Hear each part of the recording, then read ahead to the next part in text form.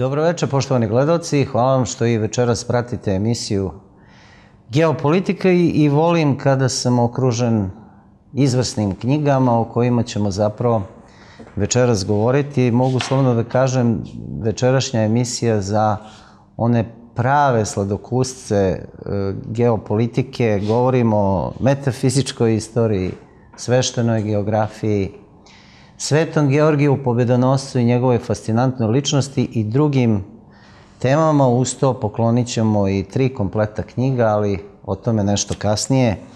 Jer se svim ovim temama zapravo vrlo revnosno bavi gost večerašnje geopolitike, pisac Nenad M. Arsić. Tako je. Dobroveče i hvala vam što ste večeras u Novom Sadu. Meni je velika čast što sam vaš gost. Hvala vam. Da, da, moramo otkriti gledalcima na početku malu tajnu. Gotovo godinu dana pripremamo ovaj susret. Da, tačno tako. Mislim, ovo sam rekao da bi gledalci shvatili koliko se ozbiljno pripremamo za ovaj razgovor. Dobro, Nenade, pre nego što pažnju posvetimo vašim sjajnim istorijskim romanima i otkrimo neke fantastične scene iz istorije naše civilizacije, stvarno me zanima vaš odgovor na pitanje koliko se čovek današnjice okružen ovim tehnološkim čudima uopšte zanima za istoriju ljudske civilizacije, poreklo života na našoj planeti. Mislite koliko znamo o tome? Koliko znamo o tome i koliko nas to interesuje uopšte. Pa evo ovako, ovaj, ja bih vrlo kratko mogao da odgovorim na to pitanje, ali ajde da se malo, da se poigramo sa tim. O čemu se radi? Ovaj, zvanična nauka kaže da je univerzum star 12 milijardi i 798 miliona godina. Planeta Zemlja je po njima stara 4 milijardi godina. Ja sam, istražujući materijale vezano za moje knjige, ovaj, došao do podataka, da kažem, naših predaka, da je naš, naša planeta Zemlja, koju su oni zvali Midgard Zemlja, stara, pardon, milijardu i 960 miliona godina. I sad, ako ovaj, uzmemo, u stvari zamislimo dve tačke, tačku A i tačku B, i ta tačka A bude, e, da kažem, početna godina stvaranja planete Zemlje, a tačka B, ovaj, 2021. baš ovaj trenutak dok ja i vi pričamo, između te dve tačke vremenski razmak od milijardu i 960 miliona godina. I sad ako ponovo pozovemo nauku u pomoć, pa je pitamo koliko to nauka ide daleko ovaj, kada je u pitanju ljudski rod, pa ja mislim da ne bismo mogli da odemo dalje na 7000 godina unazad. Samo 7000 Pa ja mislim da, da ne bismo mogli. Pa mi mnogo što što ne, pa mislim, pazite, priča se o sumerskoj civilizaciji koja je bila negde tako 3-3,5 hiljade godina pre nove ere, pa i od njoj ne znamo ništa. I sad da se vratim na ovo, znači imamo taj razmak od milijardu i 960 miliona godina i imamo 7000 godina. I sad jednom prostom matematičkom operacijom, ovaj, ako hoćemo da, da izračunamo koliko je to procentualno tih 7000 godina sprem milijardu i 960 miliona godina, domićemo cifru 0,00035%. Eto. Eto, toliko znamo o istoriji naše ljudske civilizacije. Pa dobro, sad ovo je više jedno, kako bih vam rekao, laički primer. Uh -huh. Ali zašto ne, interesantan. Uh -huh. Pomalo i logičan. Zaista znamo malo. Da, dopada mi se, dopada mi se vaša potreba da, da razjasnite našim gledalcima to načelo dualnosti, dvojstva. Da. E, ja sam ovih dana rekao i sama geopolitika kao disciplina koja se bavi istraživanjem odnosa prostornog i političkog zasnovana je na tom dualističkom da. načelu kop, kopno-more. Da.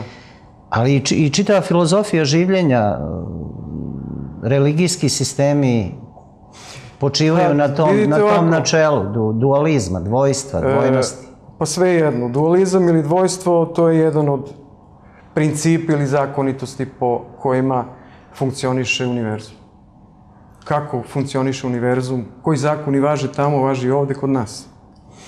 I sad, pošto svaki uzrok ima svoju posledicu, pošto svaka akcija ima svoju reakciju, pošto svaki dan ima svoju noć, svaki minus ima svoj plus i da ne ređem dalje, ja sam onda razmišljao, pitam sam sebe, ovaj, a zašto i, i ovaj, princip dualnosti ne bi važio za istinu?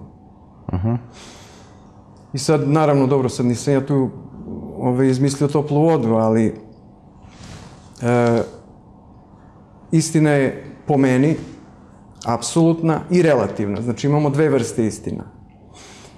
Apsolutna istina je ono što zdrav razum ne može da, da negira. Uh -huh.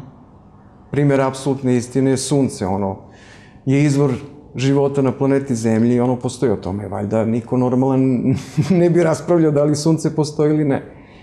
A što se tiče uh, relativne istine, to bi možda mogao da vam ovaj, objasnim najbolje, u stvari da dam primer koji je vezan za religiju.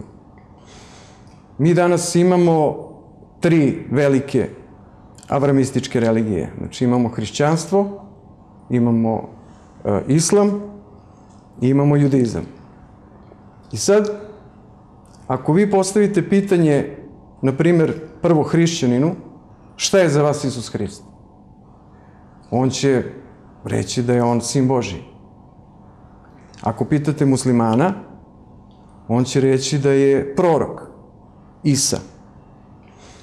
Ako pitate jevrina, on će reći da Isus Hrist nije ni prorok, a nije ni sin Boži. I sad ako ste vi ovaj, ateista ili budista ili prosto neutralni u, u, u, svakom smislu i posmatrate ta tri čoveka, vi razmišljate, pa ko je sad u pravu? Ko je rekao istinu? I neminovno je da morate da dođete do zaključka da, je, da su svi u pravu. Prosto svako od njih e, veruje u ono što misli da je istina i zato veruje u to. I ta relativna istina je bila jako važna za mene zbog e, svega ovoga čime se bavim, zato što ovaj, e, ta neka daleka vremena o kojima ja pišem i to što opisujem i te događaje i tako dalje, to je sve jako teško dokazljivo. Znači, e, prvo sam razmišljao, kad sam to sve, da kažem, posložio na papir, kako će ljudi da reaguju na to. I onda sam shvatio da mene to u principu ne bi trebalo ne da interesuje. Ja sam to napisao pre svega zbog sebe i napisao sam da bi preneo neko znanje onima koji to znanje žele da prime. Znači, sve je tu na, poput švedskog stola, ko hoće neka uzme, ko neće neka ostavi i to je to. Tako da, ovaj, da. otprilike to, samo još jednu stvar sam hteo da vam dodam, E, bilo je jako dobronamernih ljudi koji su lepo reagovali na moje knjige, ali ljudi su ljubopitljivi, pa vrlo često kontaktiram sa njima, neki pitaju, jel imaš dokaze, jel imaš dokaze, daj dokaze. Onda su neki od mene tražili da u nekim narednim izdanjima stavim nekakve fusnotice, nekakve izvori i tako dalje. Ja sam rekao, to mene ne interesuje. Ja to neću da radim. A neću da radim zato što, ovaj, kada bi to uradio, ja bi onda ušao u, u, jedan, uh, u jednu spiralu nekih polemika gde ja trebam nešto da dokazujem. Ja svima kažem, ljudi moji, ja nisam istoričar. Ja nisam naučnik. Ja sam pisac i, i, i istraživač. Ja da. volim da kažem tragač. Da, tragači će postati i neki od naših večerašnjih gledalaca, dakle, s velikim zadovoljstvom E, najavljujem u ovom trenutku emisije, ćemo pokloniti tri kompleta knjiga Nenada Marsića, 5508. pre nove ere i Perun. Potrebno je samo da pozovete našu dragu koleginicu Milicu, telefon 02147208280, ostavite ime i prezime i kontakt telefon i gospodin Nenad Arsić će vas obradovati ovih dana kompletom svojih knjiga. Posle, e, posle praznika. Da, jasno. Posle praznika. E, mislim da je e, dosta važno da se sa tih univerzalnih visina i zapitanosti malo, malo spustimo na, na zemlju, jer ovo ipak emisija geopolitika, dakle, važan deo vaše i lične i profesionalne biografije, vaš boravak u Kini. Da. Od 2005. do 2012. 12, ako se ne varam. Da. Dakle, šta biste s ove razdaljine označili kao najvažnije životno iskustvo vezano za tu zemlju? Pa, znate, šta je iskustvo? Iskustvo je nauk. E, ja sam u Kini naučio šta je strpljenje. E, po prirodi sam Spartanac. Znači, vrlo brzo reagujem, donosim odluke. Kinezi su malo drugačiji, ovaj, e, ti moji poslovni partneri sa kojima sam, ja ne znam sad, to su sati i sati razgovora, priče vezano za posao, ovaj, hektolitri popijenog čaja. I onda sam shvatio ovaj, da, da Kinezi e, ne tri puta, ne 300, 3000 puta mere, a samo jednom seku. To je interesantno i to nije, mislim, to nije vezano samo za nekakvu, ovaj, e, e, za mene lično i za ovaj moj primer. To je prosto nešto što je u Kini vrlo poznato. Prosto su takvi. Znači, vrlo pažljivi, odmereni, treba dosta vremena ovaj, da, da steknu poverenje, naročito u strance, ali kad ga steknu i ovaj, kad reše to što reše, onda to prosto ide kao voda. Da, mene, mene je vazda onako kopkala tema nekakve kineske, ugrađene kineske metafizičnosti u njihov koncept geopolitike, njihovo viđenje, poimanje prostornosti. Da. I nije, nije nepoznata činjenica da je nekakva kineska autoprojekcija, da su oni središnje carstvo ili carstvo, carstvo sredine. Otkuda potiče taj osjećaj njihovog mesta u svetskoj istoriji i posledično svetskoj geografiji? A da vam kažem, ja, ja u stvari uopšte ne znam e, e, da li oni razmišljaju o istoriji i geografiji na onaj način na koji mi želimo da oni razmišljaju. A pogotovo na način na koji Zapad želi da ovaj, oni razmišljaju. Kina je prvo jedna velika civilizacija, stara možda i preko 7000 godina. Ovaj, to njihovo duhovno stablo je, znate, ovaj, takvo da je teško proniknuti u njega. To što oni e, daju na spolje, što mi možemo da vidimo i to što je unutra, to je pitanje za milijardu dolara, razumete me. E, ja taj nekakav srednji put Kine vidim kao srednji put između dve velike sile, trenutno između Rusije i Amerike.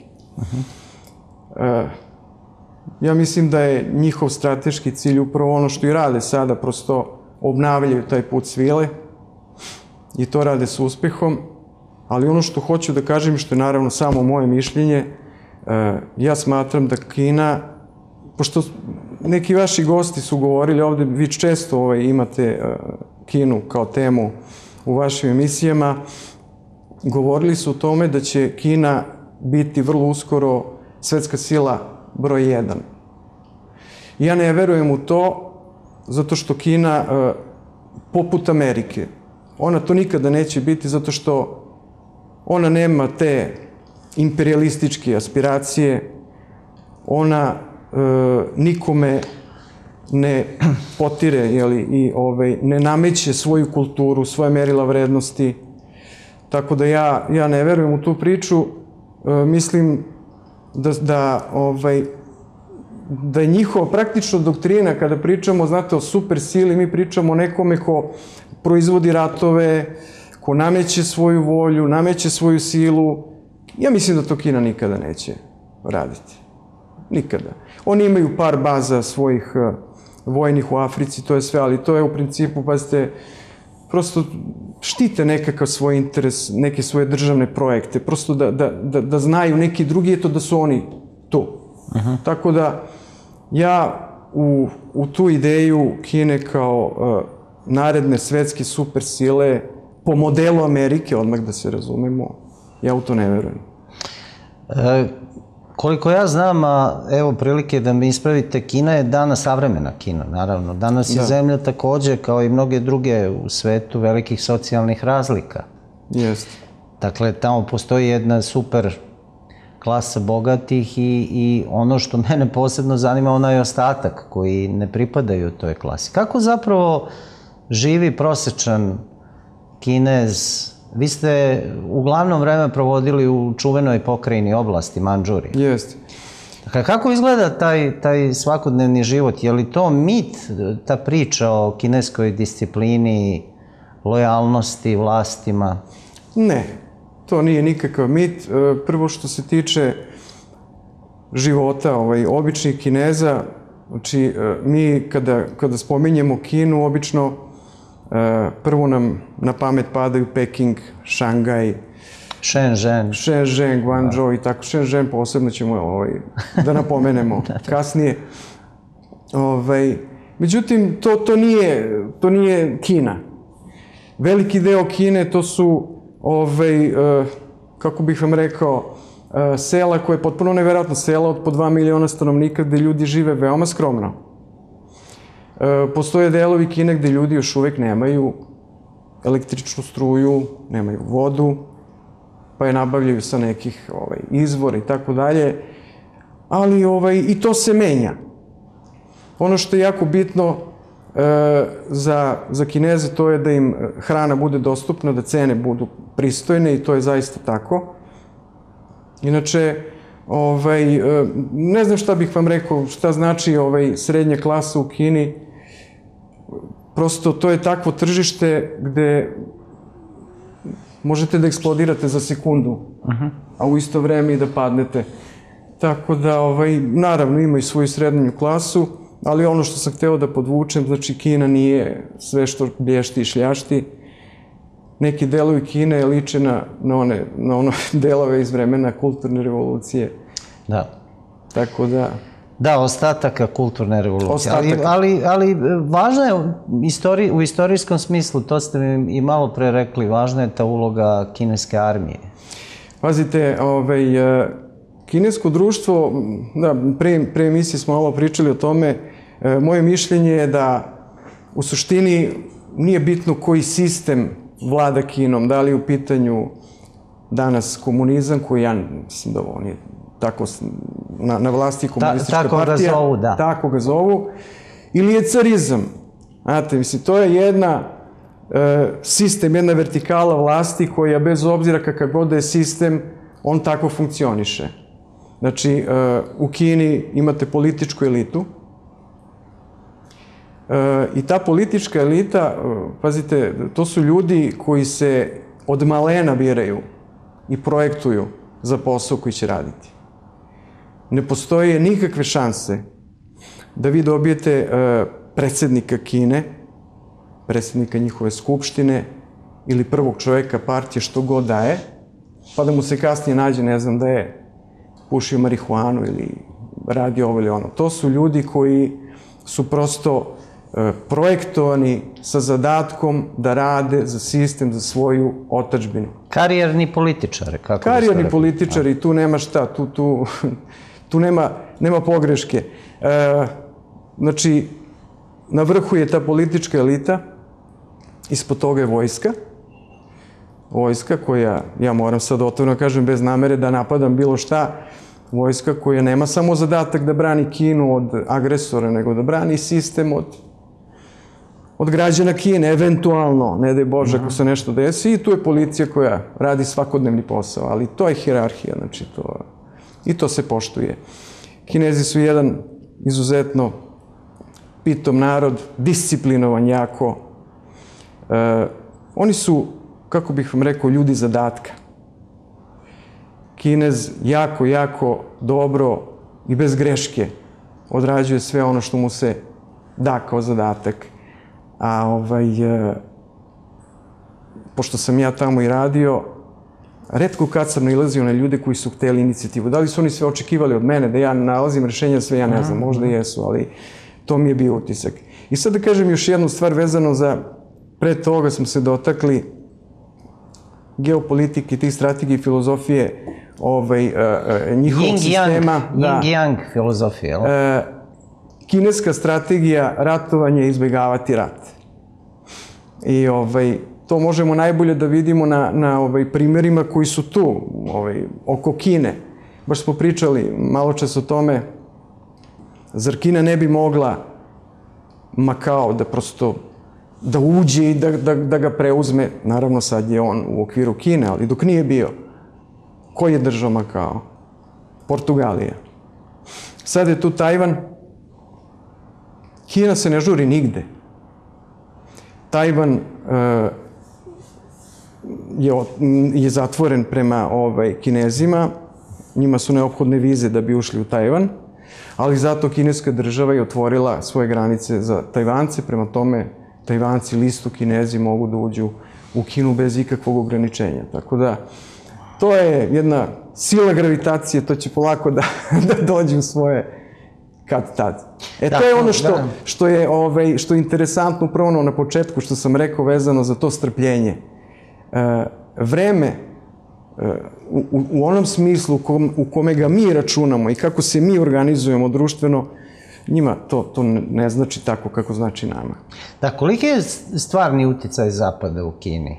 Pa pazite ovako, ja zaista, e, što se tiče stanovništva, veliki. Meni stvarno nije bilo jasno. E, moji prijatelji, pošto pazite, svi mi koji dođemo sa ovim fizionomijama tamo, mi smo za njih zapadnjaci. I ja sam tu pokušavao da im, da im objašnjivam da sam ja... Mi te finese. Da ma, ma ne, pa da. digu sam ruke od toga, to je bilo nemoguće. Ovaj, I uh, oni, su, oni su stalno želeli da me vode, pošto su jako gostoljubivi. Hteli su da me vode u neki evropski ili zapadni restoran. U McDonald's ili u Pizza Hut, nemam pojma.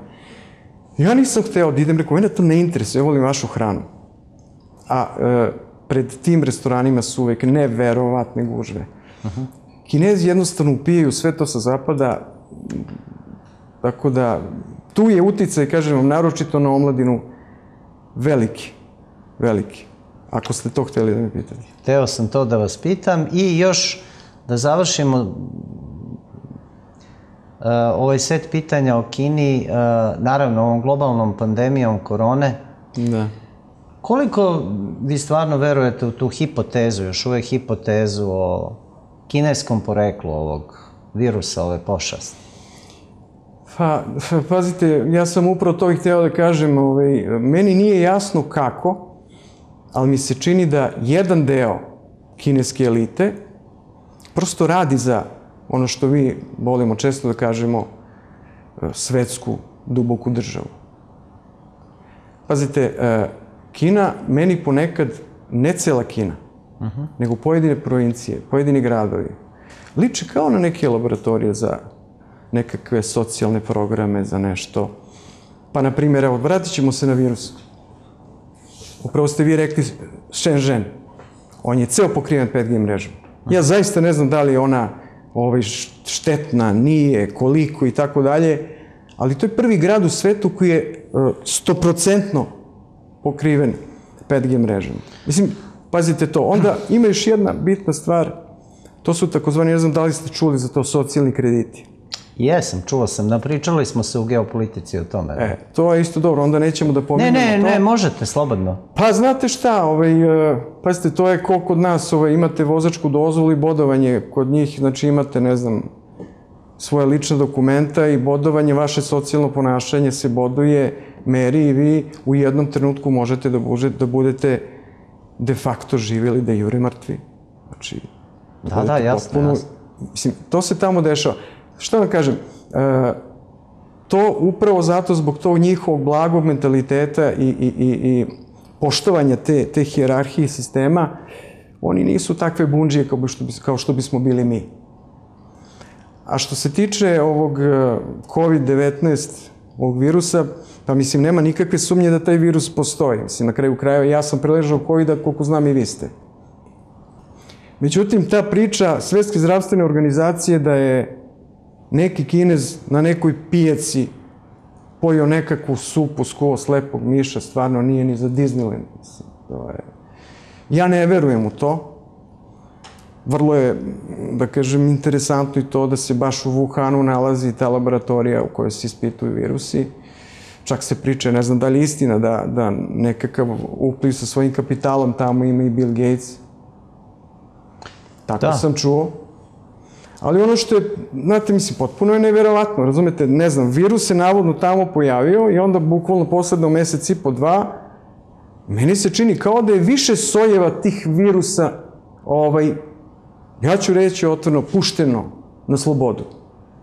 Jer vidite kako je reagovala Italija, šta je bilo sa njom prošle godine u ovo vreme. Evo sad se u Indiji dešava katastrofa. Onda, e, pazite, 3 miliona ljudi je do sada umrlo od tog virusa. To je, e, ja lično mislim da to ne može čovek da radi. Jer čovjek ima um, ima svest, ima razum. Ako imate svest, imaćete i savest. Kako bi jedan čovek kao savestno biće mogao da uradi ovako nešto, da toliki e, stotine miliona ljudi izgubi posao, da 3 miliona ljudi umre, da toliki ljudi se pate, da pored ovog virusa na koji se fokusiralo zdravstvo, ljudi umiru od drugih bolesti. Mislim, to je potpuno sve, šta da vam kažem. Da, poludo je sve, tu nema ovaj, nikakve dileme, ali da ipak mi malo pređemo i na vaše knjige, u stvari one su nas i okupile večeras da. pred gledalcima geopolitike. Ovo je knjiga 5508 pre nove, pre nove ere, vaš autorski prvenac, jedna Jest. izuzetna knjiga. Zbog čega je, zbog čega je ta 5508 pre nove ere va, važna za našu drevnu istoriju i e, otkuda sad ta, ta mitološka veza, metafizička veza tih prostora, kineskih prostora, azijskih prostora sa prosto našom istorijskom sudbinom? Pazite, to, to, to je tema za koju bi nam bilo potrebno nekoliko emisija. Ovaj, uh, prvo, ja namerno ovde ne pominjem ni Srbe, ni Ruse, ni staroslovene, ja govorim o našim precima. E, naši preci su u isto vreme dok je e, cvetela vinčanska kultura te neke 5508. godine upravo na ovim našim prostorima, naši preci su živeli i ovaj, u Aziji. E, ne samo u Aziji, oni su živeli, znači to je e, Sibir, Azija, Bliski, Daleki istok i u, do Indije. U Indiji su živeli. E sad, što se tiče konkretno ove godine, 5508. To je godina početka. Početka nanovo brojanja godina po kalendaru. Zašto kažem, namerno podlačim na, na, na novo brojanje godina? Zato što ovaj, svi vezuju tu 5508 za stari srpski kalendar. Brojanje godina je jedno. Kalendar je nešto sasvim drugo, mnogo uh, složenije. Samo da se u par rečenica ovaj, osvrnem na kalendar. Znači, naš taj stari kalendar je stari, ja zaista ne znam koliko, ali u pitanju su desetine i desetine hiljada godina. Znam da će nekom to da, da zvuči neverovatno, ali po onome što sam ja istraživao, on je zaista toliko star. I to je najtačniji kalendar koji ikada, iko, napravio na, na, na, na planeti Zemlji. A šta je bio kriterijum za, za Pazite, taj naš, pa, naš, e, naš stari kalendar je solarni kalendar. Znači, on praktično E, obzirom da je sunce jedan od izvora, najglavniji izvor života. Apsolutna istina. Apsolutna je istina, da. Ovaj, uh, oni su pratili, znali su kako i na koji način i kada sunce šalje koju vrstu energije sunčeve prema nama. Uh -huh. I na osnovu toga su ovaj, uh, onda znali kad će šta da rade i kakve akcije da preduzim i tako dalje. Naravno, nije samo sunce u pitanju. Ja ne bih više da ulazim u tu priču iz prostog razloga što ja ovaj e, to to je jako e, složen ovaj e, složena priča vezana za za kalendar, ali namerno sam ga pomenuo zato što se stalno vezuje jedno za drugo. Znači, jedno je brojanje godina, a drugo je kalendar. E sad, ovaj, 5508. godina je u stvari godina kada se dogodila, dogodila ta velika mitska bitka naših predaka sa drevnim ovaj, kinezima koje smo tada mi zvali Arimi. A mi smo se tada zvali? Asi. Mi smo se tada zvali Asi. Asi, da, narod Asa. Pre nego što objasnite ko je bio narod Asa, meni je vrlo interesantna etimologija te reči, naša današnja svakodnevna upotreba. Na kraju krajeva i ceo kontinent se zove Asija, Da, da, da. Azija, je li tako? E, kontinent Azija je u stvari njeno osnovno jeli, ime, prvo ime izvorno je Asija, zato što su na tom kontinentu živeli Asi. As, mi danas tu reč koristimo za nekog vrhunskog sportistu. Da, jasno nam je šta je As. Prvak. Danas nema potrebe da, da, Prvi da to... čovek. Ja, prvi čovek. I to je upravo to i značilo. E sad, e, ko su bili Asi? E, narod Asa su u stvari bili, bio savez četiri roda bele rase. Uh -huh. To su bili Darijevci, Harijevci, Svetorasi i Raseni. I sad, e, kroz te hiljade i hiljade godina, ne, bih se upuštao u ono o čemu smo ja i vi pre emisije pričali, to ćemo eventualno nekom drugom prilikom vezano za te prakontinente, nešto ćemo pomenuti od toga, ovaj, ali da, da, da se fokusiramo na Aziju. Oni su, e, znači četiri roda bele rase su živela, e, prosto oni su se mešali među sobom, tako da je e, ta posebnost na neki način izgubljena, s tim što smo ipak sačuvali, mi smo sačuvali ovaj, ime našeg roda do dana današnjeg, pa i Rusija, Rasija, mi smo Rasi, Rašani, ovaj, tako da ovaj, ta četiri roda bele rase su u stvari narod Asa. Da, i e, šta je zapravo bio povod za tu legendarnu bitku iz Pa, 5508? e, pazite ovako, to je bilo vreme kada su se naši preci i drevni kinezi borili za životni prostor. Znači, bavili se geopolitikom. Pa bavili su se Sveštenom geopolitikom. Bavili su se geopolitikom zato što su uslovi za život tada još uvijek bili jako teški na tim prostorima. Tu je skoro pa ledeno doba, jeli? E, tako da su uslovi života bili veoma surovi i prosto su se borili za životni prostor. E sad, ovaj, e, te, te, te borbe i bitke su bile konstantne i trajale su stotinama i stotinama i stotinama godina, dok se nije desila ta odsudna bitka e, u Srednjoj Aziji i ona se upravo dogodila te 5508. godine pre nove ere. E, mi smo, naši preci su pobedili u toj bitci i zahvaljujući toj pobedi e, u e, Asgradu, kako ga ja zovem, ili Asgorodu, kako bi rekli Rusi, to je grad koji se nalazio na ušću reke Irtiš i Om A, da, na Sibiru. zanimljivo. Da, da, da. E, nalazio se tamo, tamo je sad grad Omsk. Mhm. Tamo je Omsk. Da, da, da, tamo je Omsk. E, tamo je potpisan, e, potpisana ta velika povelja o miru između e, naroda Arima i naroda Asa. I ovaj, sa tom poveljom potpisano je razgraničenje. I upravo tada je doneta odluka da se sagradi, da krene sa gradnjom takozvani zid Kitaj, koji mi danas zovemo kineski zid. E, sad ćete to da nam posebno objasnite, etimologiju reči Kitaj Pa, i naravno smisao kineskog zida. E, pa Kitaj, e, ki je na tom našem starom jeziku značilo nešto solidno, kamen ili zemlju, nek, nešto što bi moglo da... Da, da, ako se ne varam, Rusi kažu Kitaj Da, Kinu. da, da, da, da. A taj je ograda. Prosto to je kameni zid. Kameni zid. Ja sam imao prilike da, ovaj, da boravim na, na tom zidu. Bio sam ovaj, uh, par puta. Bio sam prvo na zidu kod Pekinga. Uh, to su ture vrlo interesantne, jako lepe ture. Ovaj, uh, to je, to je praktično prvo, prv, prvi moj odlazak. I još jednom sam bio na, na kineskom zidu, ali ne e, tamo gde se vode turisti, nego sam bio na kineskom zidu koji je praktično neka vrsta početka kineskog zida, baš u Manđuriji. To su moji prijatelji kinezi, pošto vikendom, slobodno vreme, nisam znao šta ću s njim, i ovaj, predložili su mi da idemo na, ovaj, na kineski zid. Ja to mom prijatelju kažem za ime Božije, pa znaš ti gde se nalazimo, gde ćemo mi sad na kineski? Kaže, ne, ne, kaže, imamo mi ovde kineski zid. Rekao, kako? Kaže, da, da, tu kaže jako blizu.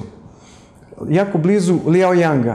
Ali Yang je mesto gde smo imali proizvodnju, to je, to je jedno selo, praktično. Tako, takvo, takav status ima u Kini, kod nas bio Velegrad, uh -huh. pošto ima 2 miliona stanovnika. I ovaj, otišli smo na taj kineski zid i on je bio potpuno drugačiji odnosu na, na onaj zid na kome ovaj, vode turiste. Sad ja ne kažem da oni sad tu nešto, shvatate me, što se nešto dešava i tako da, prosto je bio drugačiji. Ja kad sam po, pošao da prilazim tom zidu, gledam, delovao mi je kao da je od grafita. Znate, bio taman. To, je, to mi je prvi utisak bio. Onda, ovaj, uh, nije imao nikakva vezivne materijale između blokova tih kamenih. Što je bilo jako interesantno. A na ovom delu kineskog zida su kameni blokovi, ima i, i cigle. Sad, do duše, pazite, oni sad to održavaju, to je staro. Ja ne kažem da, da smo samo mi gradili taj zid i oni su taj zid koristili, gradili, ali ono što je, ovaj, mislim, činjenica, e, odbrambena strana zida je okrenuta prema kontinentalnom delu ovaj, današnje Kine, razumete? E, Mislim, to je vrlo zanimljivo. Svata da. teme, da, da, da, to, da. je, to, to može da se proveri vrlo lako. Mislim, ne bi bilo nikakve logike da neko prema sebi, prema svojoj teritoriji stavlja nekakvu ovaj, liticu, shvatate me. Prosto, prosto ovaj, vidi se da, da je, da je ne, namera tog zida bila nekako drugačija. Da, fascinacija, vaša fascinacija svetim Đorđem Pobedonoscem, uskoro će Đurđevdan, primetna da, je... Samo u... sam hteo, ovaj, da, da. Uh, izvinite, uh -huh. gospodine Vukašinoviću, da, da, da dodam još nešto. Vezano za 5508. Uh, e, ovde se vode polemike vezano za, za tu godinu, jer opet kažem, obično se vezuje odmah 5508. godina i stari kalendar. I sad, mnogi tu i naši m, autohtonisti, da kažem, po neki uh, istoričari isto, ovoga mi ima i nadri istoričara, pričaju o, o tim godinama. I onda stalno svi pitaju, pa šta, zašto mi baš od te godine brojimo, ovaj, jeli, brojimo godine? Pošto, vidite, e, svaka velika civilizacija ili svaki narod je od nekog važnog događaja broja svoje godine. Pa su Grci od prve olimpijade, Rimljani od osnivanja grada Rima, jevreji Oni kažu od početka sveta, mada to je jedna vrlo škakljiva tema o kojoj ja pišem sad u, u ovom romanu koji spremam, to je sledeći roman Petar Rasa. Ovaj, I stalno se vode te polemike šta se to dogodilo baš te 5508. Sad, neki kažu, pa 5508. godine je bio potop. Znate, kad, kad se bavite tako drevnom prošlošću, morate da koristite logiku. Morate da koristite logiku. Ako je to bio potop te 5508. godine, kako je moguće da je baš u to vreme cvetala ta vinčanska civilizacija, pa da je bio potop, onda bi ta voda koja je grunula satirala sve, jeli, vinčance sa sve njihovim kućama i civilizacijom u Crno more, i mi ne bismo ni znali da je postala vinčanska civilizacija. Mislim, nema logike.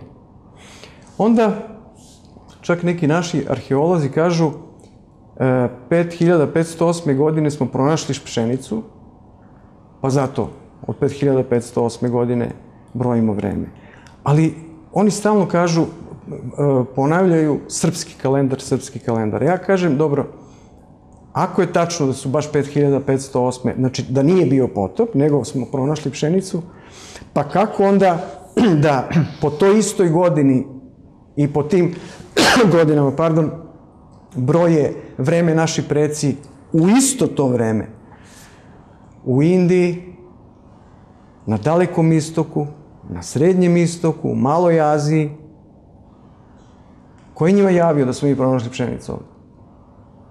Tako da, ja, mislim, pazite, ovo o čemu pričam, to je opet domen nije apsolutno, već relativne istine svako da. slobodan da tumači to kako god hoće, ali uh, ja lično smatram i uh, pominje se u Aleksandar Loma u svojoj knjizi Pra Kosovo pominje upravo ovaj, jednu drevnu bitku koja se dogodila Ovaj, to treba pročitati isto, ovaj, koja se dogodila na tom Da, pozdravlja vas, pozdravlja vas Boža Milosavljević i mi O, ga pozdravljamo, našeg druga Božu, Da. koji je naravno veoma zaslužan što realizujemo ovaj razgovor Da, i emisiju. ja ga pozdravljam. Da, veliki Bože Milosavljević. Apsolutno. Inače, ovaj, da, Bože je fascinan takođe vašim romanima s pravom, zato što je vaš stil pisanja zaista fascinantan. To je neka, kako ste i sami u jednom intervju rekli, na čitaocu je da odredi da li je reč o epskom romanu ili istorijskom romanu. Ja sam nekako posle iščitavanja bliži Pa ja sam laki pisac teških tema. Laki pisac teških tema. Da- Ali dobro, fascinacija, to, to sam malo pre hteo da vas pitam Svetim Đorđem. On je veliki simbol. Bez ikakve Da, sumnje. evo za, za nekoliko dana bit će Đurđevdan posle, posle Vaskrsa. Bez ikakve ne znam da li znate, on je i zaštitnik Novog Sada. To nisam znao. Eto, To nisam znao. Pa evo, to je gradska slava. Vidite... Đurđic. Da.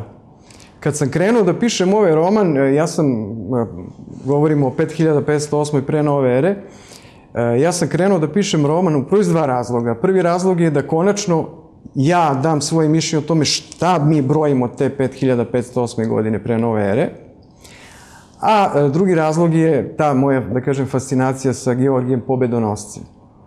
Georgije Pobedonosac je bez ikakve sumnje istorijska ličnost. Znate. E sad, e, on je u stvari e, taj Miloš Obilić, koji je e, super junak, koji je zarobio kineskog cara u toj drevnoj bici. Odnosno, arimskog cara, da budemo i tačni. On ga je zarobio i tako zarobljenog doveo u Asgrad, gde on bio primoran da potpiše tu povelju o miru, o večnom miru između ta dva suprostavljena naroda. Njegova, znači, ključna bitka je ta, kao što je Miloš Obilić ubio sultana, pa nam se na kraju, kako neki kažu, nije posrećilo, ali dobro, ovaj, Sveti Georgij ili Georgije Pobedonosac je zarobio cara i priveo ga svom caru Asuru gde on mora da, da potpiše. Mislim, to se znalo, znači, kad zarobite cara, rat Kraj bitke, da. kraj bitke, Da, mislim, da. tu nema šta više da se doda. Tako da, ovaj, to što je on preveden u, ovaj, u hrišćanstvo ko Sveti Đorđe, mislim da nije ništa loše, jer je na kraju krajeva i na taj način smo sačuvali sećanje na njega, ali ovaj, e, vidite, mi ga slavimo e, dva puta u toku godine. Slavimo Đurđevdan i Đurđic. Rusi ga imaju na, ovaj, na svom grbu i na zastavi. Znate, nije to slučajno. Ipak je to Rusija. I drugo, ono što, što ja, mislim, što svako od nas može da vidi, taj Sveti Đorđe e, na ruskoj zastavi nema oreol sveca što znači da ga smatraju istorijskom ličnošću. Nije to slučajno neko stavio na zastavu jedne tako velike države koja se jako drži tradicije, razumete me. E sad, sama simbolika tog, te aždaje, u stvari to nije nikakva aždaja, to je zmaj. A ovaj, zmaj je simbol naroda Rima kao što i dan danas zmaj simbol kineske države, kineskog naroda. Tako da on simbolično proba da kopljem ovaj, zmaja i tu simbolično jeli, se vidi ta pobeda naših predaka nad drevnim kinezima. Da, mnogi vas pitaju, i ja ću večeras, neću biti izuzetak, odakle vam spisi, podaci, neću reći dokumenta, ali tragali ste mnogo za dokazima. Niste vi baš ovo sve pisali samo kao jedan pisac koji ima pravo na, jeli, fikciju, jel? Stvaralačku, nego ste dosta boravili u Rusiji, tamo ima dosta dokumentacije na ove teme. Ima, ima mnogo više nego kod nas, u stvari kod nas e, jako malo. E, pa šta da vam kažem, ove, ja, evo, taj roman 5508. pre nove ere, ja sam roman završio, mislim, 2018. Ja sam se pripremao za pisanje teh, te, tog romana šest godina. E, ja sam u kontaktu sa nekim, kako bih, kako ih mi ovde zovemo, staroverskim, rodnoverskim tim zajednicama, od kojih dobijam neke podatke, dobijam od njih neke spise, nešto sam od toga sam prevodio, nešto su mi oni prevodili na srpski jezik. Ovaj, tako da sam uglavnom sve te izvore koje imam ovaj, dobio sam ovaj, iz Rusije, jer kod nas zaista toga ima jako malo. Gotovo da nema ništa. Da, kako te zajednice u Rusiji funkcionišu danas? Pa vidite, da vam kažem, to, to nisu nikakve sekte. Uh -huh. Oni na kraju krajeva sad imaju pravo i na svog sveštenika u ruskoj vojsci. To su normalni ljudi kao vi i ja, mislim, kako bih vam rekao, nema to šta, nema nikakve tajne, kao što mi idemo nedeljom u crkvu, oni imaju svoje verske obrede.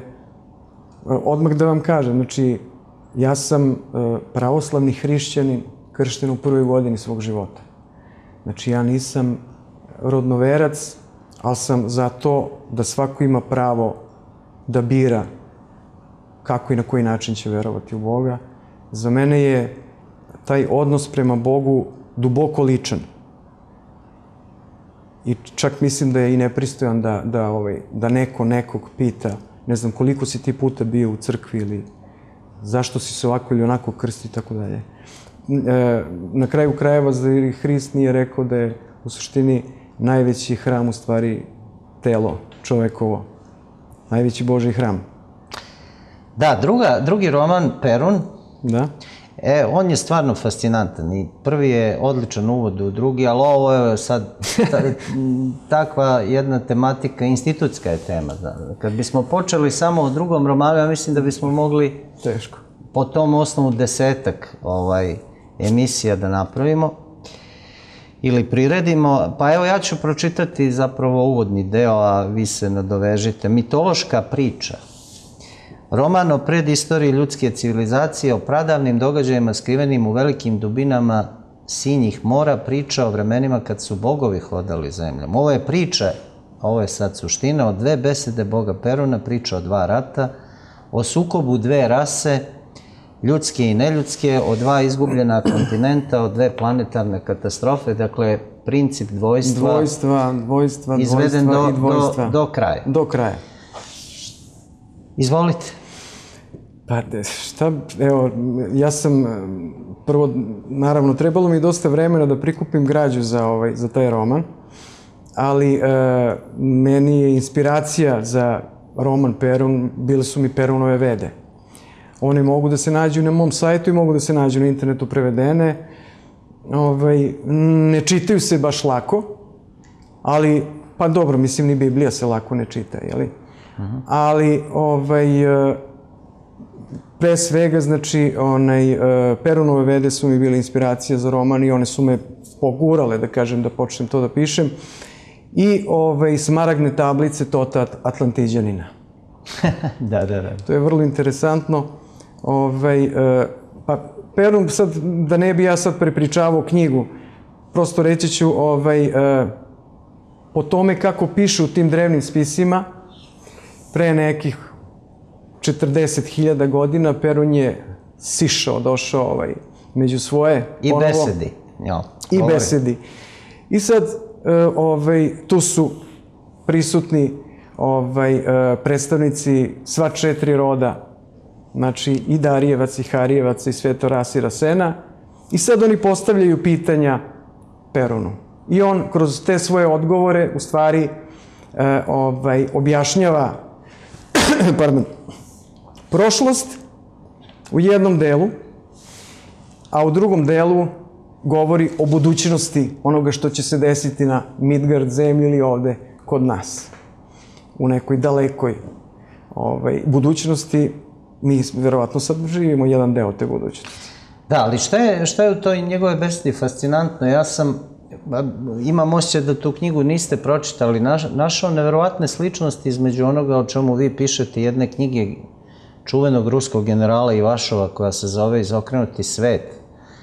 Mi smo o toj knjizi ovde govorili usred, sređujući se uglavnom na tajne drugog svetskog rata. To je jedna, Da. kao što znate, popularna tema, pa smo se bavili institutom Ane Nerbe, nacističkim istraživanjima Tibeta, jeli unutrašnjom zemljom i tako dalje. Mislim da dobar deo gledalaca ipak zna o čemu govorim, ali u prva dva poglavlja te knjige general Ivašov se bavi baš ovim temama, istorijom ljudske civilizacije.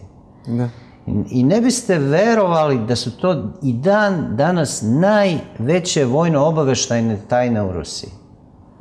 Dakle, to je neverovatno, on piše o nuklearnim ratovima, o tajnim gradovima, o, da ne kažem koliko je ta priča o piramidama poznata i ispričana, ali i o tome govori, o neverovatnim letelicama koje vi pominjete u besedi Boga Peruna. Pa pazite, one se pomenju u mnogim drugim indijskim spisima na kraju krajeva. Mahabharati. Mahabharata, na primjer, čuvenom, da. Tako da nije to ništa novo.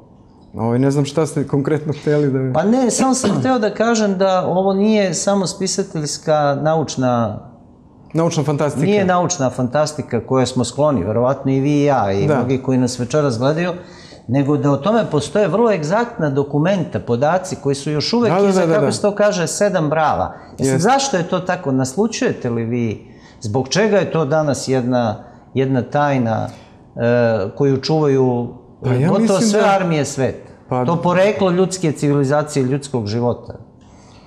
Ja mislim da još uvijek nije došlo vreme da se ovaj, to otkrije. Na kraju krajeva ni sve tablice, te smaragne tablice, to Tatontiđanina nisu prevedene. Samo jedan deo. Drugi deo se čuva, ne znam nigde se čuva, da vam kažem iskreno. Znam to što je prevedeno. I ja mislim da, da mi u duhov, duhovnom smislu nismo dorasli takvoj istini. A da, da, da, da, to je vrlo zanimljivo. Čini mi se da i vaš o tome govori. Ne, apsolutno nismo dorasli tome. Treba nam otvoren um za tako nešto. A to će doći. Doći će sigurno. Da, četvrtak je bio dan, je li tako? A, vidite ovako, moram da vas ispravim. ovaj, e, bog Peru nije vrhovni e, naš, kako e, staroslovenski bog. E, Nije četvrtak bio njegov dan.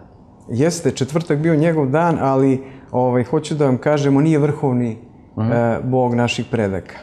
Br- vrhovni bog naših predaka je Svarog. A Svarog, da. Jeste, Svarog. je- A odmah pored Svaroga su tu vid, odnosno svetovid naš Vidovdan i Perun. I to je neka vrsta svetog trojstva, tog starog, znate. E sad, ja bih hteo da kažem par stvari vezano za tu staru veru, to je jako važno. Prvo da vam kažem, e, ja sam tu našu staru e, predačku veru e, proučavao više u antropološkom smislu. Znači, Mene je više interesovala filozofija života tih ljudi tada, nego, ne znam, mislim, kad su se kako klanjali, šta su radili, i tako dalje. I ovaj, e, ta naša stara vera se bazira, posle ćemo govoriti još o tome, bazira se na, na tri neprikosnovena prava ili na, na tri principa. to su e, pravo na život, pravo na slobodu i pravo na izbor. To, to je bukvalno rečeno. To su ta tri prava koji dan danas, gospodine Vukašinoviću, neko nama hoće da otme. Sve se vrti oko toga, oko ta tri prava. I ova korona. Evo, samo možemo kratku digresiju da napravimo.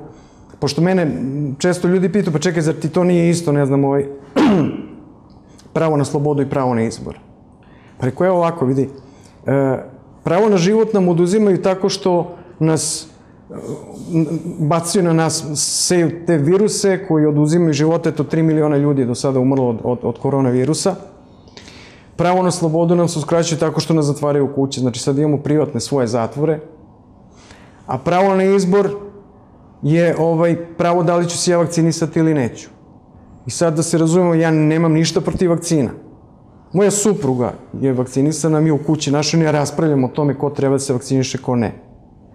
Ali meni smeta to da ja sutra možda, ako ja rešim da se ne vakcinišem, da ja neću moći da odem u futbolsku utakmicu, da neću moći da odem u pozorište, da neću moći da uđem u avion. Znači, vama se uskraćuje pravo na izbor. Znači, to su ta, ta tri, da kažem, temeljna prava na kojima se podiže ta naša stara vera. I ono što je jako važno, što hoću da vam kažem, e, vrlo često, čak i neki učeni ljudi e, se sa podsmehom ovaj, govore o, o staroj veri. Mislim da to nije dobro. E, govore da je to paganska vera. Znate. E, za mene sve što je pagano nekako i pogano. A ja ne vidim ništa pogano u našoj staroj veri. Drugi opet kažu, ma da, oni su obožavali sunce. Znate, e, naši preci nisu obožavali sunce, jer vi kad nešto obožavate, vi ga obožite. Oni su poštovali sunce. A zašto su ga poštovali? Poprvo zato što je sunce praktično osnovni izvor života na planeti Zemlji. Bez sunca mi bismo bili treći kamen od nečega. Razumete me? Mi smo planeta, treća planeta od sunca. E, I sad, tu se pominje i ta priča o, ovaj, o pozdravu suncu. Pa je čuveni onaj, da sad ne pokazujem, Hitlerov ovaj, i nacistički pozdrav, u stvari pozdrav suncu. Svastika je naš stari simbol koji vi više ne smete da pomenete zbog, zbog nacizma. Nacističke zloupotrebe. Da. Pa dugo, I šta- dugo, izvinite, dugo Da. i geopolitiku niste smeli da pomenete. Da. Zbog nacističke zloupotrebe. Eto, Tako. ovaj, šta sam hteo, ode mi misao Prekidoh vas ja, izvinite. e, vezano za... Da, i dan danas se dešava da, da naši stari izlaze pred zoru da pozdrave sunce. A šta oni u stvari rade? Pazite, e, vi pred zoru možete jedino da gledate u sunce. E sad, koje su, kojim su oni znanjem raspolagali tada, ja zaista ne znam. Ali oni gledajući u to sunce koji su mogli da gledaju tada dok izlazi, dok se rađa, oni su mogli da, da prosto da procene da li će pasti kiša, da li će trebati sutra, ne znam, da, da se seku drva, da se ide na njivu, da se radi ovo ili ono. To je bio razlog zašto su oni poštovali sunce, nisu ga obožavali. E sad, da se vratimo na, na priču o tome da li je naša stara vera e, bila više božačka ili e, ova, jednobožačka, da kažemo. E, vidite, nema nikakve sumnje da se u mnogim materijalima ovaj, ti naši bogovi i taj panteon bogova, da se oni nazivaju bogovima. Ali nisu se oni kroz čitavu tu našu povest, prapovest, e, nazivali bogovima. Ali oni u suštini, oni su se nazivali svarožićima, pa su se nazivali božićima. Znate, e, u suštini oni su isto što i današnji zaštitnici u našem hrišćanstvu. Sveci. E sad, šta su ti bogovi u stvari donosili? Oni su donosili to drevno znanje i drevnu mudrost i prenosili je e, ovaj, e, našim predsima. Da, s generacije na generaciju. I ovaj, samo da kažem, čak postoji u, u, ovaj, u, Perunovim, u, u Saintijama Perunovih veda postoji čak i razjašnjenje tačno, jer i Perun kada govori, on govori o svevišnjem, o tvorcu. On sebe ne smatra Bogom, nego govori o tvorcu. I postoji e, definicija Boga, koja glasi da je tvorac jedinstvena, prvonačelna, nesaznatljiva suština. Znači, jedinstvena, prvonačelna, nesaznatljiva suština. Šta će vam više? Eto zašto ovaj, ruska obaveštajna služba još to drži u nekim fiokama iza, drži. sedam, iza sedam brava u stvari. Ne, Izleti po nešto Da, da, pa po nešto se desi, da. Preporučujemo uz vašu svakako i tu knjigu Generala Ivašova Izokrenuti svet, prevedena je kod Hoću nas. Pročitajte obavezno. I da, stvarno je e, interesantna ta projekcija sveštene geografije na savremenu društvenu i političku stvarnost. To je Da. jedno pitanje koje me evo tangira desetak, 15 godina, od kad pokušavam da i sam artikulišem svoje misli u nekom novinarskom smislu. Dakle, dakle nova Atlant, Amerika kao nova Atlantida. E, Dakle, ta propast Atlantide, to je stvarno bio događaj izgleda od svetsko-istorijskog značaja. Da. Pa, pazite ovako, kad ste me pozvali u emisiju Geopolitika, ja sad razmišljam šta ja znam o geopolitici, pa čekaj, možda ja znam nešto, pa se setim, kažem, pa ja sam u Perunu, izvinite, ja sam u Perunu praktično opisao tu neku klicu odakle krenula ta podela na istok i zapad. Jer taj deo naših predaka koji je naselio taj drevni kontinent koji nije bio u Evropi, nego je bio ovaj, veoma, veoma blizu američkog kontinenta, Iza zapada. iza zapada upravo Da, da. tako. Objasnit ćemo šta znači. Da, to možete i vi. Da, pa pokušat ću. ovaj, e, praktično je tada došlo do te podele na, na Evroaziju i na, na ovaj, Atlantidu ili Atlantiste Jeste. današnje. Tada je samo krenulo sa da- tim. Dakle, dugujem iza da- zapada. iza da. zapada, da Iza- objasnim. aha, da, recite, da, izvini. ne bismo ostavili gledalce u dilemi. Gibraltar je bio krajnji zapad. U toj nekoj predstavi o svetu, pre otkrića Amerike, Gibraltar je bio onaj krajnji zapad, sve iza je bila zemlja koju su oni nazivali iza zapada, E, imajući u vidu tu propast Atlantide, ovaj, čovek onoga doba smatrao je da tamo ne treba ići, da je to nekakva zemlja gde prebivaju duše predaka. Mislite, nakon Umrlih propasti, pre- nakon tako, propasti, Tako, tako. I onda je, mnogi Sigurno. tvrde, e, Kolumbo e, prekršio taj zavet kada je otišao na svoje putovanje, da. koristeći se jednim misterioznim atlasom Bahrije, Da, koji je bio izložen i danas je izložen u Istanbulskom mapa muzeju. Piri Reisa. Da, da, mapa Piri Reisa, koja nevjerovatno verno iz vazduha, to je stvarno da. fascinantno oslikava, Imao sam prilike da vidim Ameriku. tu mapu. Da, da, da. da. mislim da je 1528. Pa evo vidite ovako, po, po onome što ja znam, znači propast Atlantide se dogodio, uh, ajde da računamo... U etapama. To se dešava On u on- etapama. On, da. se dešava u etapama, ali sama, znači, propast Atlantide je došla sa tim, e, ovaj, e, pokušam prvu godinu, godine da setim, to je e, 13.000, čak, mislim da, da, da su ruski izvori e, vrlo precizni, ali ja ću reći pre, sa, sa ovih dve, znači pre 15.000 godina. Pre 15.000 godina je došlo do toga. Šta je, do- došlo je do, do druge planetarne katastrofe, kako kažu ovaj, Rusi, do druge planetarne katastrofe, zbog koje je došlo prvo do potopa, a onda do, kako oni kažu, velike studeni, odnosno do drugog ledenog doba. Na kraju krajeva i Milutin Milanković kaže da su bila dva ledena doba. Tako da se i tu, i tu se stvari poklapaju. Da, ali sve ima neki dublji smisao, kako i sami Pa rekli. vidite ovako, pazite o, če, o čemu se radi. E, stvarno bi nam trebalo previše vremena, tako da ću se potruditi da budem vrlo koncizan. Gospodine Vukašinoviću, sve se svodi na ta tri praiskonska prava. Život, sloboda, izbor. Sve se svodi na to. Oni su hteli to da uzmu. Kome su to uzimali? Oni su, pazite, e, genocid prema crvenoj rasi je krenuo tada. Nekada su došli kauboji u Ameriku. Tada je krenuo genocid. Rat se upravo dogodio zbog toga što su počeli da šire svoje inspiracije i na Afriku. I onda su naši preci iz Evroazije odreagovali. Opet neću da prepričavam roman, ali odreagovali su na svoj način da spreče to. Znate? Ali suština je uvek u tome. Znači, e, svi oni koji danas rade to što rade, nama, oni nama narušavaju ta tri suštinska prava koja su osnova naše te e, e, rodne pravoslavne vere. Znači, sloboda, pardon, život, sloboda i izbor.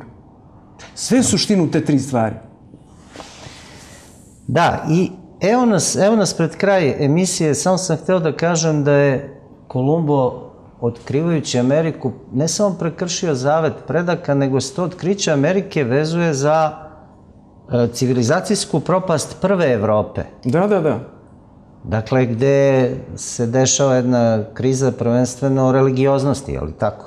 Da. I sve te koncepcije socijalne, društvene, koje nastaju na tlu Amerike, e, dobijaju jednu radikalnu formu i značenje. Dakle, krajnji individualizam. Upravo to. Protestantizam, znamo šta je. Jeste. Ovaj, pa, protestantske denominacije i tako dalje. Da, dobro, da sad ne širim, ne širim temu Da, previše. da. Znate, ovaj, malo čas smo i razgovarali pa ste me pitali e, koja je razlika između tadašnje Atlantide i današnje Amerike. Ovaj, pa ja sam teo da se našali malo, kažem, pa možda jedino u garderobi. Mislim, Da. To je sve bila- drugo isto. Da, da, da sve drugo. Principi su isti. Razumete me? A to su? Pa, e, pazite, e, prosto nametanje jedne kulture, ovaj, e, jedan, jedan ultra materializam, e, nametanje jedne ideologije koja, koja nama nije svojstvena. Oni ne shvataju, gospodine Vukašinoviću, da je naša, naše te, to duhovno stablo toliko, toliko staro i toli, ja, ja ne znam da li su njegovi koreni dublji u zemlji, su mu krošnje gore u nebesima kolike su. Svašta se pokušava da se, da se nakalemi na nas. Ali to ili samo otpadne ili se nekako kvrgo rodi. Razumete me? Tako da... da... Da, ova korona je aktualizovala, kao što znate, i onaj čuveni mit o posljednjim vremenima. I eto, pišući o sakralnoj geopolitici pre nekoliko godina, naišao sam na, na jedan tekst e, čuvenog ruskog tradicionaliste Džemala Gajdara. A čuo sam za... Da, on više nije živ, ali on je smatrao, nagoveštavao zapravo da će se posljednja vremena desiti kada e, svetom ovlada zemlja gde će sunce izlaziti na zapadu, da, da, da, a da, zalaziti na istoku. Da. I zaista taj sakralno, svešteno-geografski položaj Amerike kao kontinenta jednom, da iza kažem, zapada, metafizičkom smislu. metafizičkom smislu, Da. zaista, ako je Gibraltar krajnji zapad, onda se stvarno dešava taj obrnuti simbolizam. Pominjali smo sunce, Da. jeli, zalazak sunca, Da. kao apsolutnu istinu. Da, da. E nije li sada ovo apsolutna istina okrenuta na glavačke? Dakle, sunce izlazi na zapadu, a zalazi na istoku, u, iz pozicije sakralne geografije. Ne znam šta bih mogao da vam odgovorim na to. Ja e, nekako ne verujem u to, u ta nekakva poslednja vremena, ali ono u što verujem i u što svako od nas može da se uveri, to je da se, da se istorija ponavlja. Uh -huh. Ponovit će se. Da. Ako me razumete šta hoće kažem. Jasno. I evo na kraju smo, na kraju smo ovog razgovora, ali stvarno ne bih smatrao ovu emisiju potpunom kada nam ne biste ispričali priču o jednoj neverovatnoj epizodi, neverovatnoj ličnosti, jednom srpskom vitezu iz rusko-japanskog Japanskog rata. To je onako jedna poslastica, mnogi su tu priču čuli, ali e, meni je uvek zanimljivo, po, posebno će mi biti zanimljivo iz vašeg ugla, zato Da. što, ako se ne varam, pripremate i roman Da, da, na da. tu temu. A, O kome se radi? Radi se o Aleksandru Leksu Sajičiću. E, Aleksandar Leksu Sajičić je iz roda Vasojevića. Je li iz vašeg roda? Moglo bi se reći, da. Jel tako? Iz Pa najvećeg ali- srpskog plemena. Pa, provereno, pazite, Da, da, nema da, šta. da. Ovaj, e sad, kako sam ja saznao za njega? E, bio sam na nekom službenom putu u, ovaj, u Moskvi i imao sam vremena da, da malo posetim muzej, jer sam morao da ostanem preko vikenda tamo da bi nešto završio u ponedeljak. I onda sam odlučio da posetim malo vremena muzejima. I sad što me baš tamo odvede nekakva, ajde da kažemo slučajnost koju opet nema. Prvo sam otišao u, u ovaj, e, Moskovski voj, vojni muzej. I sad gledate sve ono, vrlo interesantno deluje i meni onako za oko padne jedna sablja, lepa sablja, onako polu i, i sukana u, u staklenoj kutiji. Ja priđem i nagnem se, vidim šta piše na njoj i shvatim da je to sablja našeg Aleksandra Leksa Sajčića. E sad, prvo moram da, da, da napravim mali uvod vezano za njega. Znači, e, on je iz jedne čuvene ratničke porodice. E, on je oficirske škole, ovaj, školovao se prvo na Cetinju, pa u Dubrovniku, pa je onda završio e, vojnu školu u Beogradu i onda se vratio na Cetinje i ovaj, bio onako nemirnog duha e, i odlučio da ode u Carigrad. I on je u Carigradu e, stupio u, u carsku e, gardu, tursku carsku gardu. I tamo je dobio čin ovaj, poručnika i bio je tamo tri godine služio. I onda je on načuo da se nešto tamo dešava u Mandžuri i opet nemiran duh, krene on za, za, za Mandžuriju i stupi sad u rusku carsku vojsku. Maltene je rat, rat ovaj početo je 1904-1905 godina. E, I on je s takvim junaštvima ovaj, e, se pokazao e, da je dobio čin kapetana. I ovaj, sad da skrati priču, mislim, meni je ovo interesantno zato što sam ja sve te svoje, svo to svoje vreme proveo u, upravo u Manđuriji. E, ja sam imao jedan pogon za proizvodnju u Lišinu, koji se ranije u to vreme japansko-ruskog rata zvao Port Arthur. Port Arthur, Jeste. Onda drugi grad, Liao Yang, koji sam već spomenuo, odnosno selo 2 miliona stanovnika, je mesto gde je bila najveća bitka između e, ovaj, japanske i ruske vojske. Sad ja ne znam koliko još vremena imamo, vidim vi gledate, opomenite me. Još pet minuta. Ok, pa onda Dobro. mogu da budemo opušteni. Ovaj, o čemu se radi? e, to je bila bitka kod Vladivostoka. Negde kod Vladivostoka. I sad stale dve vojske, japanska carska vojska, ruska carska vojska, jedna naspram druge. Toliko je ovaj, bio taj rat surov kratko, relativno kratko je trajao, ali je strahovito mnogo žrtva bilo na obe strane. I japanski komandant te vojske, ovaj, koja se spremala za boj, pošalje svog glasnika ruskom komandantu da mu predloži da se nekako vojska ko može spasi, a da ovaj, jedna i druga strana daju po jednog Magdađiju i da se u tom dvobi između njih dvojice reši ko je pobednik te bitke. I sad, ruski komandant, čim je došao, došao takav predlog od, od japanskog komandanta, on zna da je spremio nekog samuraja opasnog, veštog katani, njihovom onom tradicionalnom, tradicionalnoj sablji. I sad šta će on stao pred svoje vojnike, kaže treba mi dobrovoljac i javlja se naš Lekso Sajčić, on ga gleda, meri ga, on onako vižljast, tanak, mršav. Komandant se misli, ma nema šanse, ovaj, kako će, šta će, međutim, Lekso je bio uporan, tražio je da, da bude on, da bude on i ovaj kaže, pa dobro, pokušavao je da ga odvrati, ali nije vredelo. I ovaj, i on kaže, dobro, ajde, eto, neka budeš ti. I on kaže, ništa se, kaže, vi ne brinite za mene, samo mi dajte dobro konje, dobru sablju. I to je pro ta sablja koja je u muzeju. I oni njemu daju dobro konje, dobru sablju. On još nije ni skinuo ni šinjel sa sebe, sa šinjelom je otišao da se bije. E, komandant ruski mu kaže, gde ćeš sa tim šinjelom, skini to. A on je otprilike, parafraziram, rekao, e, što bi e, vuna smetala ovaj, ovci. Njena vuna smetala ovci. Aha. Tako nešto. I ništa, sedne on na konja, bitka, u stvari, e, taj Megdan se vodio na konjima. I nije dugo trajao. Oni su se bukvalno susreli, to je kao ako ste gledali film Troja. E, ovaj, sastav dve vojske s jedne i s druge strane i oni na pola puta. I krenule, ovaj, krenuo je Megdan. E, prvi je bio posečen naš Lekso po čelu i njemu je bilo savršeno jasno da će krenuti krv niz oči neće moći da se bori. I sad, kako kažu to ti koji prepričavaju to, ovaj, on je napravio takav nekakav manevar na konju. Tako je nešto uradio da je, da je posekao posred grudi samuraja. Ovaj, samuraja. Da. Ovo je pao s konja, Lekso je sišao dole, poklonio se samuraju, hitro se popeo na svoj konj i vratio u svoj tabor. Zato je priča o tom, tom neverovatnom čoveku. I ovaj, naravno, on je posle toga slavljen ne samo ovaj, u, u, Rusiji, pevali se pesme o njemu, mislim, slavljen je i u Crnoj Gori.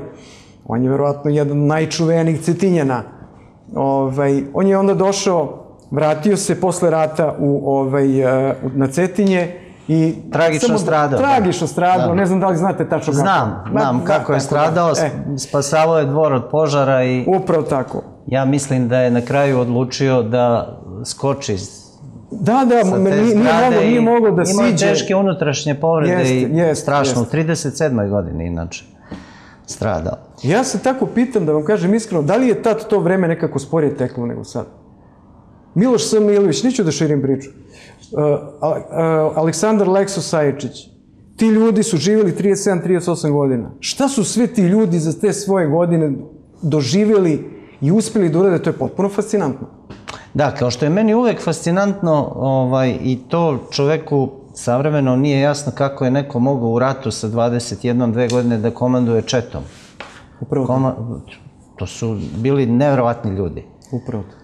Odnosno vremena kada su, kako ste napisali, bogovi hodali Da. zemljom. Hvala mnogo, Nenade, na vašim sjajnim romanima, jednom osobenom spisateljskom stilu, fascinantnom. To su stvarno onako istraživanja u koja čovek, kako ste jednom prilikom rekli, kad se u to Da. se udubite, nema, nema u- u- U izlaska. Samo, rupu. da, da, samo vas tera dalje da piše. Samo tera dalje. Divno je to što ste bili večeras u Novom Sadu. Hvala vama na pozivu. E, hvala vam, uživao sam u ovom razgovoru i nadam se gledalci geopolitike. E, negde na početku sam rekao, ali nije kasno ni sada, dakle 0214720280 naš telefon. Otvoren je za pozive, dobit ćete tri kompleta knjiga, ostavite ime, prezime i neki kontakt telefon i Nenad Arsić je tu da vas posle praznika obraduje Obećavam. svojim romanima. Hvala vam, Nenade. Mi se Hvala vidimo, vama. poštovani gledalci, za nedelju dana u Geopolitici. Gledajte nas i na YouTube-u. Do tada, dakle, do sledećeg četvrtka, doviđenja i svako dobro. Prijatno.